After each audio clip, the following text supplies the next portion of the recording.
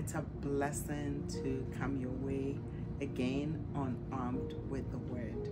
It is my prayer that you and your household are doing well in the Lord. So, on this channel, we encourage ourselves as believers to stand on the word of God in order to defeat the enemy at his games, his tricks, and his traps.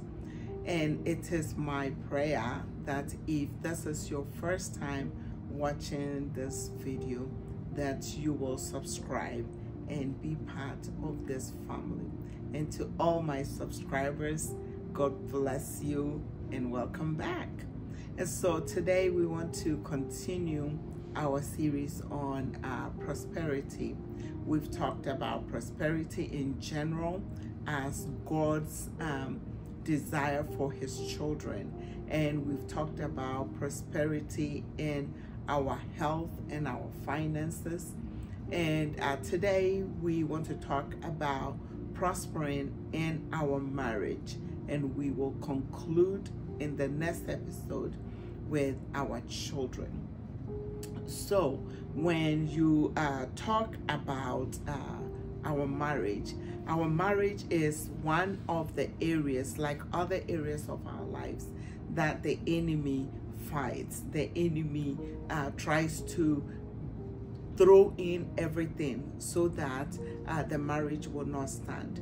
But marriage is an institution that was designed by God. And therefore, any marriage that does not have its foundation on, on Christ uh, stands the risk of crumbling of crumbling. And i want to uh, read uh, the scripture that we've been uh, the main scripture we've been using is uh, beloved i pray that in every way you may succeed and prosper and be in good health physically just as i know your soul prospers spiritually. That um, the Apostle John was writing to Gaius, and he says that to prosper in every way, to succeed in every way. And that every way includes our marriages. And so, God being the creator of our marriage has designed our marriages to bring Him glory, to exude His glory. But you and I both know that marriage is work marriage is work. Um, it, it's not easy. It's not easy. If you have been married, you know. If um, you are about to get married, then, beloved, uh, much prayer, much prayer goes into making a marriage work. And so I want to read um, Matthew 7 24 to 27. And it reads, Therefore, therefore, everyone who hears these words of mine and puts them into practice is like a wise man who builds his house on a rock. On a rock. 25. The rain came down, the streams rose, and the winds blew and beat against the house. Yet it did not fall because it had its foundation on the rock. It did not fall because it had its foundation on the rock. And then 26 says, But everyone who hears these words of mine and does not put them into practice is like a foolish man who built his house on the sand. The rain came down, the streams rose, and the winds blew and beat against the house, and it fell with a great crash. With a great crash. And this is Jesus speaking. And so the, the word of God just tells us that, you know, those who hear the word of God and do them, and do them, are like the wise man who builds his house on a rock. And the rock we're, we're talking about here is Jesus Christ. Is Jesus Christ. Jesus should be the center and the foundation of our marriage. As believers, we cannot build a healthy, uh, prosperous marriage without Jesus. He must be in the center, and our manual and instructions must be the word of God must be the word of God for our marriages to prosper, for our marriages to exude the glory of God. Then we have to use the guidelines given to us by Jesus, by his word, and not the guidelines of this world. When we use the guidelines of this world, then we are like the foolish man that the scripture is speaking about that builds his house on the sand. We cannot build our our homes our marriages on on the world's theories. We cannot build our homes on the falsehood of the enemy but on the word of god.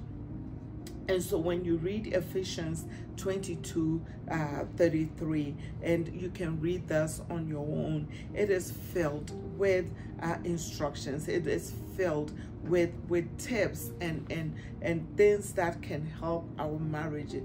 It speaks it speaks of unconditional love loving the wife loving your spouse. It speaks of selfless love. It speaks of of submission and it speaks of respect. And these are all things that seems foolish to the world but it is things that will make our marriages prosper. We fail, we fail when we try to adapt the world. We fail when we try to adapt the world. And I want to also read Mark 10, 6 to 9. And this uh, provoked my thought. It provoked me a lot into prayer. And it says that, but at the beginning of creation, God made them male and female. For this reason, a man will leave his father and mother and be united to his wife, and the two will become one flesh. So they are no longer two, but one flesh. Therefore, what God has put together, let no one put asunder or let no one separate. And so I want to dwell on the unity I want to dwell on the unity and the oneness. Um, so God in God's plan for our marriage, God wants us to be one. One God wants us, the couple, to be together. There has to be that unity. There has to be that oneness if we are to uh, fulfill that which God has has brought us together to fulfill. And so for for us as couples, then we need to be united physically. We need to be united spiritually, financially, emotionally, and sexually. We cannot be separate. We cannot have separate mindsets. We cannot have separate goals. We cannot have separate um, purposes, but live the purpose of God for our lives. And so every blessing that uh, we can experience as couples hang on this truth, hang on this foundation of unity of unity and we see a lot of marriages that um, fall apart and it's because maybe one one member of of the marriage is going his or her own way. There is not that unity. There is not that purpose.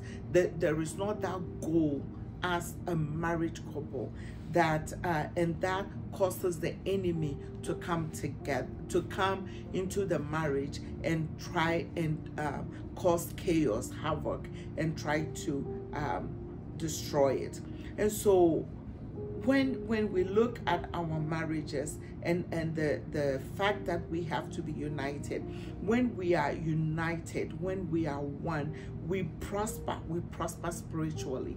We prosper spiritually. Uh, we are able to discern. We are able to go to god together. We are able to fight the enemy. Because the word of god says one person can put put away a thousand to fly but then when it's two when the two of us come together, we are able to put 10,000 to fly. And so that tells you the power, the power we will have as a married couple to be able to fight our battles. and and prospering spiritually there is not this confusion about when one person is working for the lord and the other person is doing its own thing it brings confusion in the house but when we are all doing what God has called us to do, when we are all serving the purposes of God, then there is an agreement there is a spiritual agreement. And when there is agreement, we all know as believers, when there is unity, when there is agreement in the home, then blessings, blessings come into our home. And then also we are able to raise godly children. Our children are not confused our children are not confused and and this is this is what i know children are like sponge children will draw whatever we do. And so if there is confusion in our spiritual standing, our children pick up on that. They will pick up on that. And children will always go to the path of least resistance. So if mom is always saying, let's go to church, let's do this, mom is forcing the things of God, and dad is not, they will go the path of dad. And so we have we as married couples have to make be careful and be united in the things that we do so that we can raise godly children to the glory of God. And then also, um, when we are united, we receive blessings from God. We receive blessings.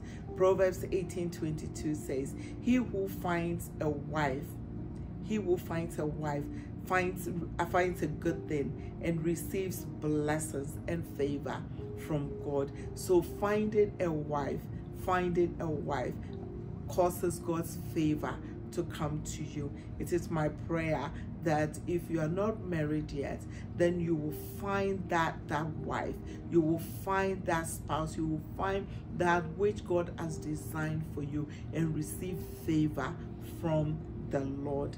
It, it may be your marriage did not work.